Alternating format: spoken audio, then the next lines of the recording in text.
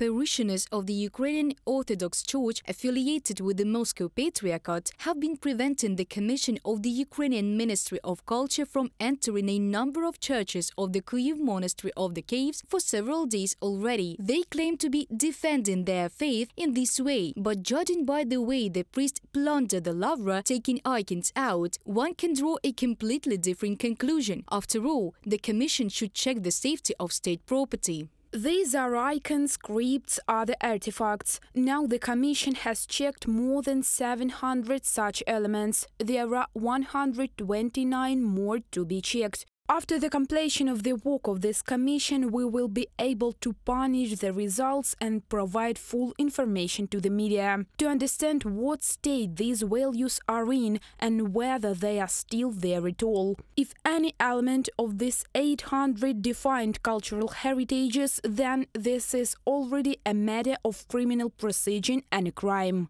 The clergy of the UOC of the Moscow Patriarchate had to completely leave the Kyivo-Pecherska Lavra on March the 29th. Instead, they used zealous parishioners as a human shield. On Friday, the Ministry of Culture told the police about the obstruction of the actions of the State Commission by representatives of the Moscow churchmen. We'll see. They were hoping for a verdict. Today, the court decided to refuse them that, as they say, as a pledge to cancel our decision or suspend our decision. So we act absolutely legally. I hope that the representatives of the Ukrainian Orthodox Church of the Moscow Patriarchate will come to their senses. Alexander Tkachenko, Minister of Culture and Information Policy of Ukraine, in an interview with Radio Liberty.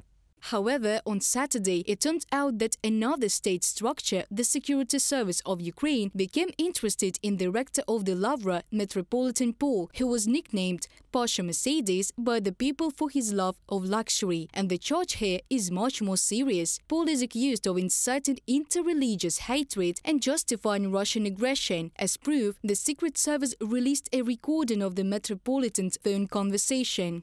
And today, Kherson, preach the good news. There are already Russian flags everywhere and everything else. Of course, the Russians will not retreat. I was once told that it would be a war between America and Russia to the last Ukrainian. Good, there's not much of them left. Searches were also carried out at Paul's estate. Investigators found the official seal of the Russian Federation and many luxury items, including a portrait of the Metropolitan inlaid with amber. At this time, a measure of restraint was chosen for Paul himself in the Shevchenko district court. During the process, the suspect complained of feeling unwell, and the meeting was rescheduled for the evening. Earlier, Oleksiy Danilov, head of the National Security and Defense Council of Ukraine, also spoke out for terminating the agreement of the free usage of the lower part of the National Kyiv-Pechersk Historical and Cultural Reserve. In response, Metropolitan Paul recorded curses to the official as well as personally to President Volodymyr Zelensky. The head of state commented on the transfer of the control over the Kyivo-Pecherska Lavra back to the Ukrainian state.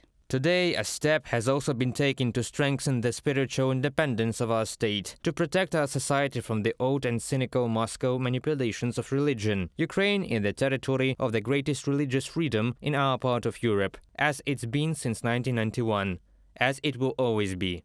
For many years, Russia has used religion as one of the main ways to split Ukrainian society. Now that Kyiv is finally cutting off all ties with the aggressor, the Ukrainian state is regaining legal control over the shrines, which are national heritage. Reported by Diana Kolesnik, Danilo Kobza, UATV News.